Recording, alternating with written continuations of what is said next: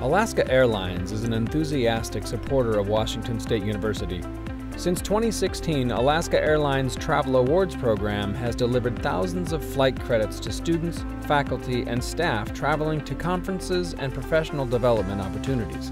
The biannual Alaska Airlines Day brings company executives to WSU campuses to speak to business students, share internship opportunities, and give away tickets and they are a major supporter of the Sustainable Airlines Fuel Research Center, a joint venture between three WSU campuses and Snohomish County.